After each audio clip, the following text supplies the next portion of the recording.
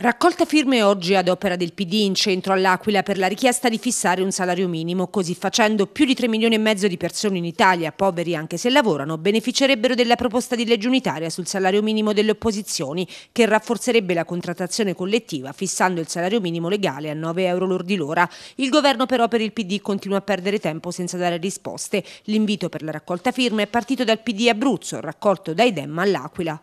Innanzitutto perché c'è una questione salariale generale, il lavoro non è più purtroppo motore di emancipazione, in Italia chi lavora continua ad essere povero, il salario minimo è un segnale di dignità, io direi il primo, e cioè una cosa molto chiara, chi lavora a prescindere dal suo contratto, dal settore di appartenenza, dalla tipologia del suo contratto individuale non può guadagnare meno di 9 euro l'ora, una cosa semplice, di dignità.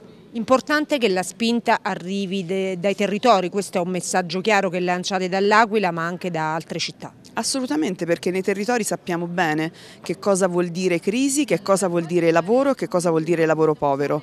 Quindi si parla di livelli essenziali di assistenza per quanto riguarda la sanità, di livelli essenziali di prestazioni, in questo Paese devono esserci livelli essenziali nel lavoro, di diritti e di salario.